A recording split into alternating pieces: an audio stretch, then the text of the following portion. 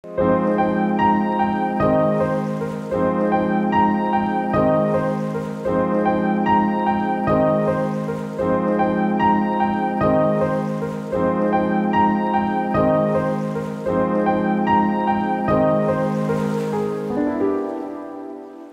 சங்கீதக்காரனாகிய ஆசாப் எழுதுகிறான் யாருடைய கொம்பை கத்த உயர்த்துவான் யாருடைய கொம்பு உயர்த்தப்படுகிறது. வாசிக்கலாம் பத்தாவது வசனம். எழுபத்தி ஐந்து பத்து. சங்கீதம் எழுபத்தி துன்மார்க்கருடைய கொம்புகளை எல்லாம் வெட்டி போடுவேன். துன்மார்க்கனுடைய கொம்புகளை எல்லாம் வெட்டி போடுவேன். நீதிமானுடைய கொம்புகளோ உயர்த்தப்படும். நீதிமான்களுடைய கொம்புகளை உயர்த்தப்படும். உயர்த்தப்படும். சத்தமர் அலையில சொல்லுங்க பார்க்கலாம். அலையலுயா கத்த நல்லவர். கத்திரவிழாமை சொல்ல முடியும் அல்லேலூயா.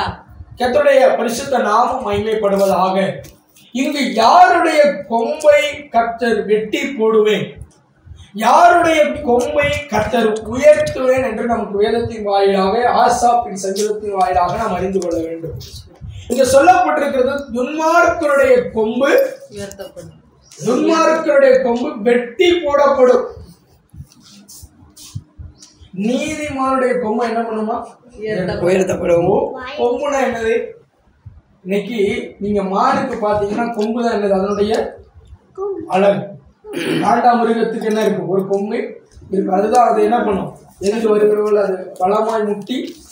அப்போ இந்த கொம்பு என்று சொல்லும் பொழுது நம்முடைய பராக்கிரமத்தை வைத்துக் கொள்வோம் இதனுடைய நம்முடைய பலனை வைத்துக் கொள்வோம் இல்லைன்னா நமக்கு முதன்மையானது என்று வைத்துக் கொள்வோம் அப்போ துன்மார்க்கனுடைய கொம்பை கத்தர் வெட்டி போடுவார்னா அப்ப யாரோ அவருடைய கொம்பை கத்தர் உயர்த்துவார் அது நீதிமானுடைய கொம்பு. எத்தனை பேர் ஆமென் சொல்ல முடியும். அவன் நீதிமானுடைய தலை நீதிமானுடைய கூடாரத்திலே கம்பீர சத்தம் உண்டு.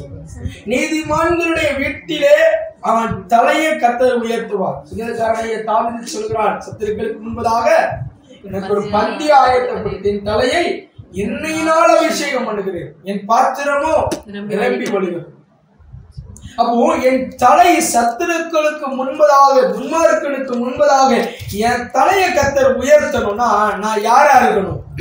நீதிமான்களின் கூடாரத்துல தங்கி இருக்கிறவன் என்னுடைய வீடு நீதிமான்களின் கூடாரமா இருக்கணும். நான் இருக்கிற இடம் ஒருவேளை நான் வேலை பார்க்கிற இடத்துல நான் நிற்கிற இடத்தை கத்த நீதிமான்களின் கூடாரமாய் வைத்திருக்க வேண்டும். நான் போகிற இடத்திலே கத்தர் என்னை நீதிமானாக கண்டால் நான் நீதிமான்களின் சபையார்களோடு கூட நான் இணைந்திருந்தால் நான் நீதியான அனுபவம் என்னிடத்துல இருந்தால் நீதிமானுடைய கம்பீர சத்தம் என்னிடத்துல இருந்தால் கத்தர் என் தலையை உயர்த்துவாரை தவிர தாழ்த்த மாட்டார். உபாகமம் இருபத்தி எட்டாம் அதிகாரத்துல வாசிச்சு பாருங்க. கத்தர் உங்களை பாழாக்காமல் கீழாகாமல். எப்போ நடக்கும்? ஒன்னாவது வசனம் வாசிங்க. உபாகமம் இருபத்தி எட்டு ஒன்று. உனக்கு விதிக்கிறேன் ம். உன் தேவனாகிய கர்த்தருடைய கட்டளைகளின்படி எல்லாம் செய்ய செய்ய நீ கவனமாய் இருக்கும்படிக்கு கவனமா இருக்கும்படிக்கு அவர் சத்தத்திற்கு உண்மையாய் செவி அவர் கொடுப்பாயானால் சத்தத்திற்கு உண்மையாய் செவி கொடுப்பாயானால் உன் தேவனாகிய கர்த்தர் என் தேவனாய கத்தர் பூமியில் உள்ள சகல வைப்பார். ஜாதிகளிலும் உன்னை மேன்மையாக கத்தர் வைத்திருப்பார். அப்ப யாருடைய தலை உயர்த்தப்படுமா தன்னுடைய வாழ்க்கையில இந்த கற்பனைகளை விட்டு இந்த வேதத்தில் சொல்லப்பட்ட பொன்மொழியான வார்த்தைகளை விட்டு யார் ஒருவன் விலகாமல் இருப்பானோ?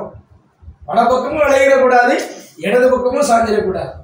இந்த வேத வசனத்தின்படி நடந்தால் உங்கள் தலையை கத்தர் நீங்க படிக்கிற இடத்துல உயர்த்துவார். நீங்க மற்றவர்களை விட ஞானவான்களா இருப்பீங்க. ஆமாவா இல்லையா? எத்தனை பேர் ஆமென் சொல்ல முடியும்? நீங்க வேலை ஸ்தலத்துல கத்தர் உங்களை ஞானவானாய் வைத்திருப்பார். நீங்க போகிற இடத்துல ஞானவானா விளங்கணும்னா நம்ம யாரா இருக்கணும்? கற்பனைகளை கை கொள்கிறவனா வியாச பதை எழுதுற.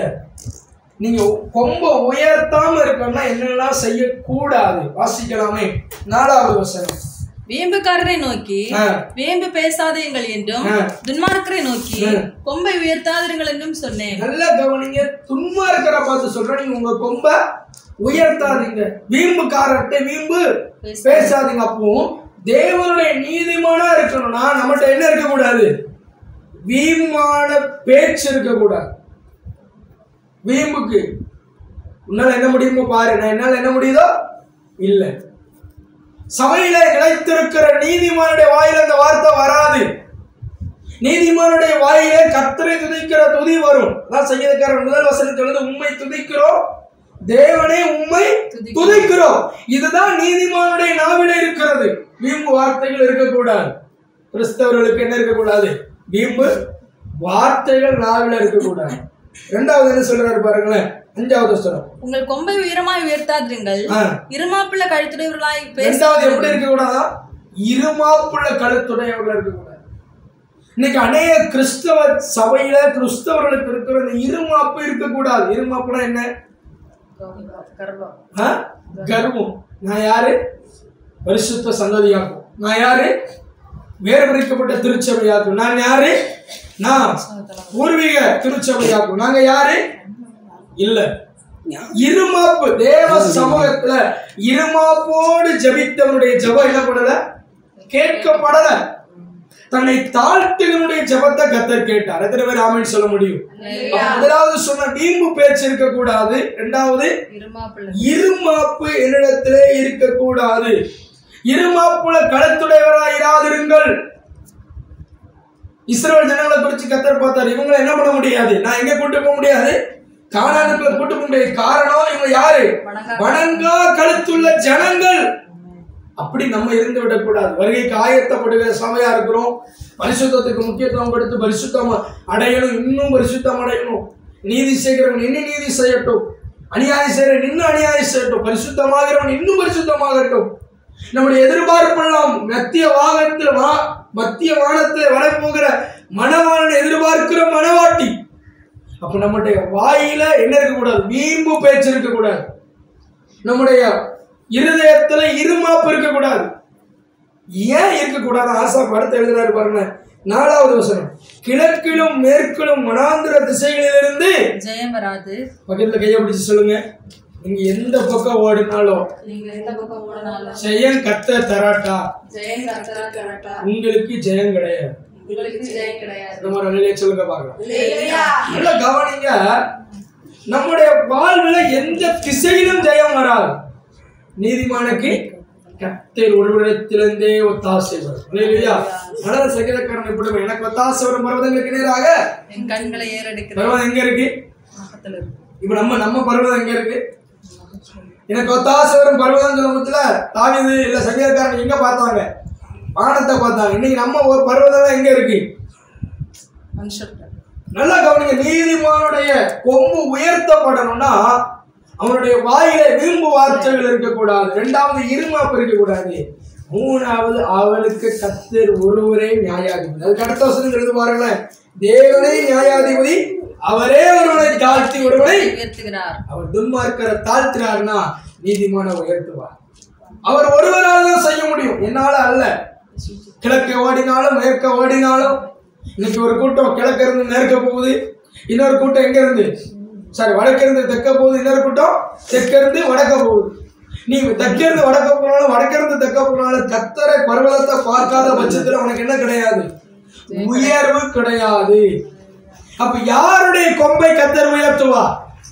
நீதிமான்களாகிய வீம்பு பேச்சு இல்லாத இருமாப்பு இல்லாத எந்த- எந்த பக்கத்திலையும் எதிர்பார்ப்பு இல்லாத கத்தரிடையே நம்பிக்கையாய் கொண்டிருக்கிற நீதிமானுடைய தலையை கத்தர் உயர்த்துவார். விதத்தில் அநேக பேரை நம்ம பார்க்கிறோம். கத்தரையே தன் நம்பிக்கையாய் கொண்டிருந்த தாவீதனுடைய வாழ்க்கையில கத்தர் செய்தார். அவனை உயர்த்தினார். அவன் தலையை சத்துருக்களுக்கு முன்பதாக எண்ணெயால் அபிஷேகம் பண்ணி தாவீதை உயர்த்தி ராஜாவாய் வைத்தார் கனவலாட்டுக்கு பின்பதாக போயிருந்த ராஜாவை தாவீதை ராஜாவாக்க என் தேவனால் முடியுமானால் இன்றைக்கு நீதிமானாய் வாழ தீர்மானம் எடுக்கிற என்னுடைய வீட்டில என்னை கத்தர் உயர்த்துவார். சொல்ல முடியும்? வேலை ஸ்தலத்துல உயர்த்துவார். படிக்கிற இடத்துல உயர்த்துவார். உங்க கொம்பு தானாய் உயர்கிறதை நீங்கள் காண்பீர்கள். சுத்தமான நிலை சொல்லுங்க பார்க்கலாம். நம்ம செய்ய வேண்டியது என்ன? நீதிமான்களின் கூடாரத்தில் தங்கியிருக்கிறது நடக்கும் பெண்களை முடிச்சு ஜெபிப்போம் பரிசுத்தமுள்ள நல்ல ஆண்டவரே நல்ல இயேசுவை இந்த நல்ல நாளுக்காய் நீதிமான்களின் கூடாரத்திலே நாங்கள் நிலைத்திருக்கிற அனுபவத்தோடு கூட ஆண்டவரே நாங்கள் கிறிஸ்துவின் ஆண்டவரை சேவையை செய்கிறவர்களாக தகப்பனை எங்களுக்கு உதவி செய்ய வேண்டுமா சொல்லிக்கிறோம். நாங்கள் துன்மார்க்கடைய கொம்பை வெட்டி போடுவேன். நீதிமானுடைய கொம்பையோ உயர்த்தப்படும் சொன்னீங்க ஆண்டவரே. எங்க கொம்புகளை உயர்த்துங்கப்பா. எங்களுக்குள் இருக்கிற வீம்பு பேச்சுகள் இருமாப்புகள் அண்டவரை எத்திசையிலும் அண்டவரை எதிர்பார்ப்புகளை மாற்றி. தேவன் ஒருவரே நியாயாதிபதி என்று நம்பி நீர் ஒருவரே தலையை உயர்த்துவீர் என்று நாங்கள் நம்புகிறோம். எங்களுக்கு அனுகிரக பாராட்டு தொடர்ந்து உங்கள் கிருப இருக்கட்டும் இயேசுவின் நாமத்தின் பிதாவே ஆமே